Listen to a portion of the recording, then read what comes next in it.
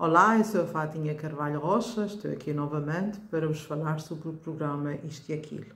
O programa Isto e Aquilo é transmitido através da Virtual Web Rádio, a rádio online que existe onde quer que haja internet. A Virtual Web Rádio transmite diretamente da Flórida. Eu ainda não tive o gosto de ir à Flórida, continuo a transmitir por cá, pela ilha de São Miguel. O programa Isto e Aquilo é um programa semanal, transmite ao sábado, normalmente às 20 horas, horas dos Açores. Mas como a hora mudou, hum, eu não sei se estou a dizer uma grande asneira, mas eu creio que esta semana uh, o programa Isto e Aquilo terá início pelas 21 horas, horas dos Açores. Uh, vamos ver então o que é que nos traz o programa Isto e Aquilo desta semana. No primeiro tema, diz-nos sintomas indicativos do acompanhamento de espíritos perturbadores.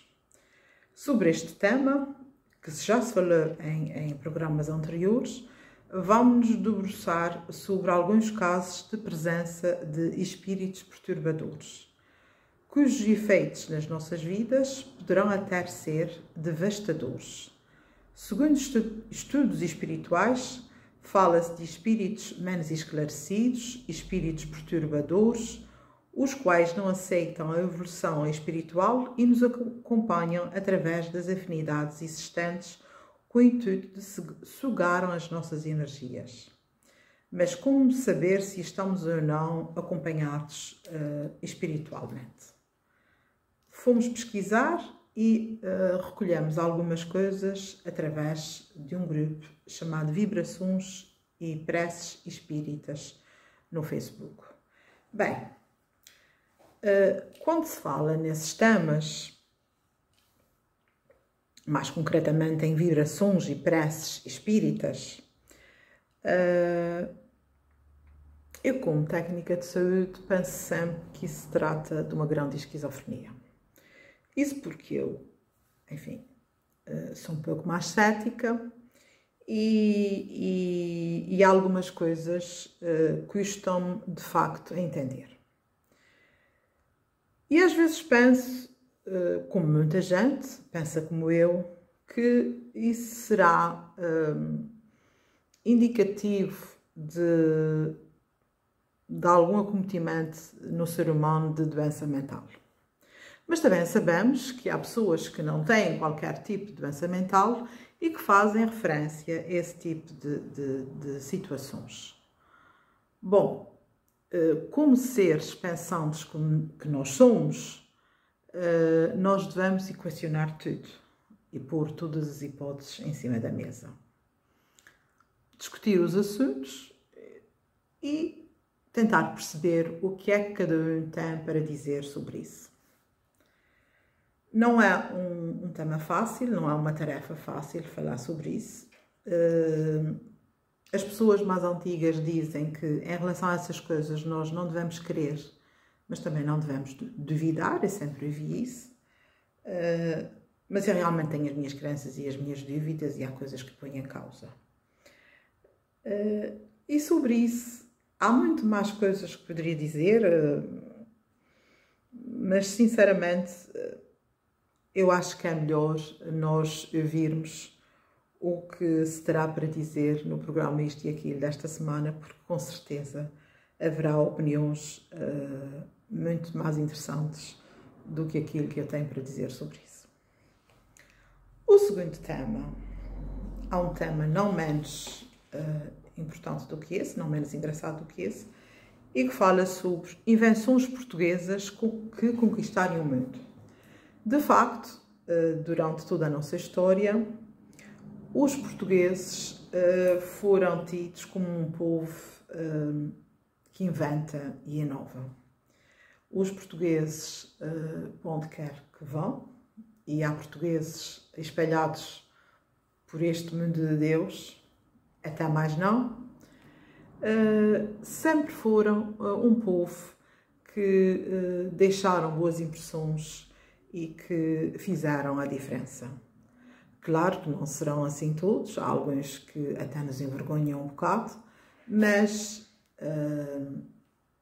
a maior parte dos portugueses, aonde quer que vá, é um povo querido, é um povo bem-vindo, porque de facto os portugueses são persistentes, trabalhadores e uh, têm uma boa cabeça, pensam, inventam coisas, inovam coisas e têm criado muitas coisas que têm ajudado muito uh, a humanidade ao longo do, do, dos anos.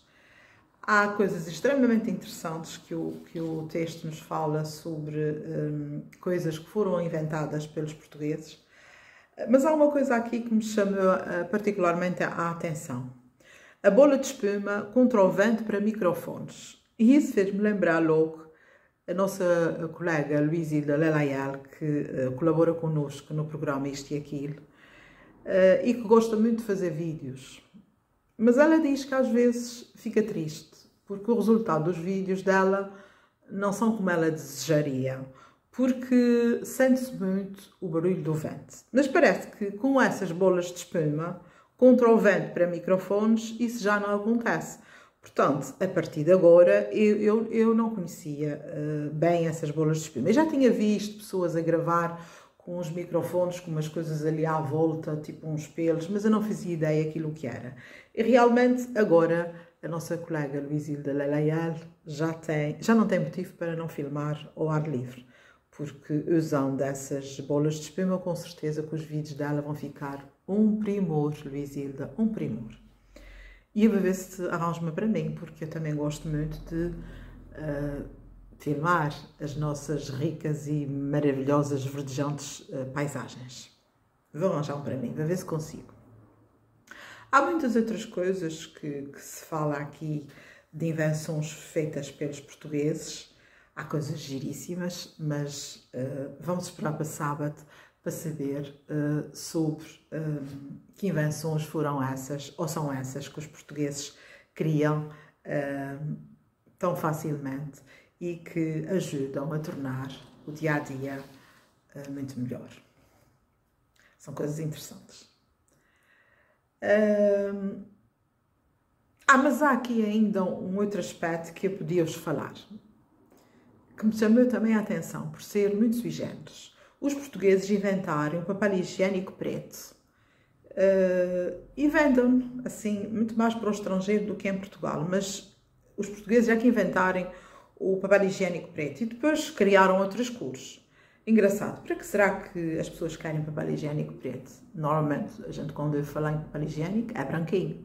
E se calhar é papel higiênico preto, é quando se, enfim, faz a limpeza do sim senhor não aparece nada lá no papel e assim as pessoas não ficam enjoadas.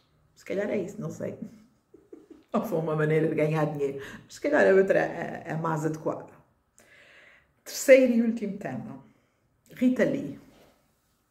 Rita Lee, mais uma vez, dizendo muito. É isso que nos diz o tema. Rita Lee, como sabem, é uma artista brasileira que eh, quando abre a boca, bota para quebrar, como dizem os brasileiros. Ou então, quando ela tem alguma coisa para dizer, ela diz mesmo e põe a boca no trombone. E dessa vez, uh, o que é que então a Rita Lee disse? Dizendo muito. A Rita Lee, uh, nesse tema, fala das mulheres. Fala das mulheres e, e de uma experiência que ela viveu quando era jovem em relação a outras mulheres. Ela fala dessa experiência e essa experiência não fala nada mais, nada menos do que um, uh, eh, as condições uh, um, de subjugação a que as mulheres uh, sempre foram sujeitas ao longo dos tempos. Muito mais naquele tempo, quando, era, quando ela era jovem, do que hoje em dia.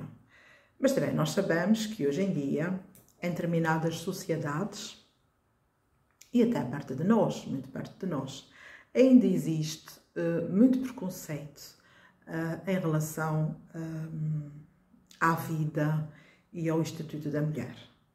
E há pessoas uh, que têm pensamentos sobre as mulheres que são coisas, enfim, que há de bradar aos céus.